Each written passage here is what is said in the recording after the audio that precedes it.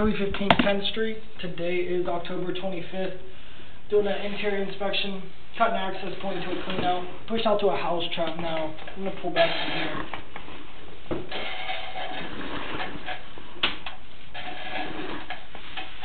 The terracotta interior line.